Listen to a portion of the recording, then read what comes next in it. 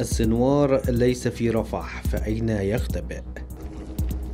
ثمانية أشهر من البحث عنه في كل مكان في غزة وكأنه فص ملح ذاب. تقارير هنا وأخرى هناك تتحدث عن مكان اختبائه. آخرها تقرير لصحيفة تايمز أوف إسرائيل يفيد بأن رئيس حركة حماس في قطاع غزة يحيى السنوار ليس في رفح جنوب القطاع.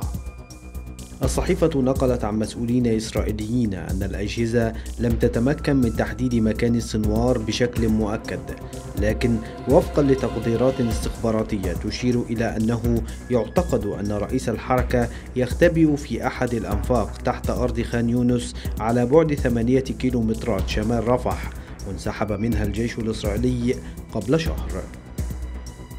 فيما تقدم الجيش الإسرائيلي قبل أيام إلى مشارف مدينة رفح بهدف القضاء على قادة حماس باعتبارها المعقل الأخير للسنوار ونائبه محمد الضيف والتي ترغب إسرائيل في قتلهما أو اعتقالهما.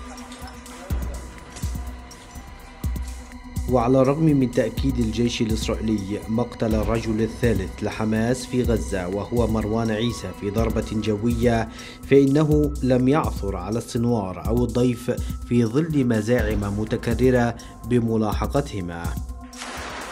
منذ عمليات السابع من أكتوبر والسنوار هو المطلوب الأول لدى إسرائيل فلا تخلو مناسبة في إسرائيل من دون ذكر اسمه أو الحديث عنه. آخرها أمس عندما رفع السفير الإسرائيلي لدى الأمم المتحدة جلعاد إردان صورة يحيى السنوار وقد كتب عليها الرئيس السنوار دولة حماس الإرهابية برعاية الأمم المتحدة وذلك خلال الكلمة التي ألقاها بأعقاب اعتماد الجمعية العمومية للأمم المتحدة قرارا يدعم طلب عضوية السلطة الفلسطينية بالأمم المتحدة.